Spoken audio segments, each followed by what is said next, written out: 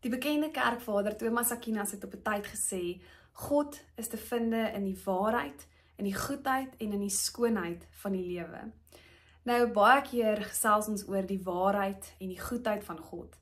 Maar wanneer laas het jy regtig gefokus op die skoonheid van God?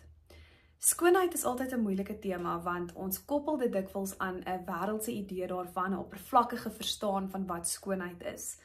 Maar skoonheid is eintlik iets baie dieper as wat ons daarvan maak.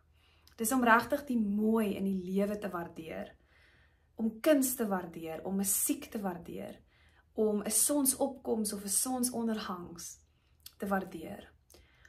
Dis om die mooi van die lewe nog steeds te sien, om te fokus op dit wat rein is en waar is en goed is. In Filippense 4 vers 8 lees ons hierdie bekende gedeelte van ons wat moet fokus op dit wat rein is, dit wat edel is, dit wat waar is, dit wat prysenswaardig is, wat mooi is, wat lofwaardig is. Dis die dinge waarop ons ons gedagtes moet rig. Dis dis 'n Godgegewe opdrag. Om jou gedagtes te rig beteken dat jy doelbewus fokus op iets.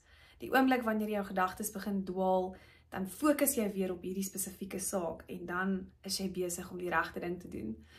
En net so is dit 'n uitdaging vir my en vir jou om opnuut te fokus op die mooi in die lewe. En jy ontdek dit dalk op 'n ander wyse as wat ek dit ontdek.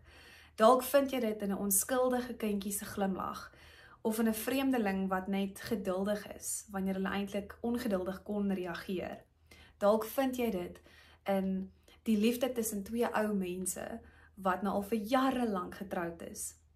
Dalk ontdek jy dit in iemand wat dankbaarheid het ten spyte van hulle omstandighede wanneer hulle eintlik niks het nie. Dalk ontdek jy dit in die natuur. Dalk ontdek jy dit in stiltes.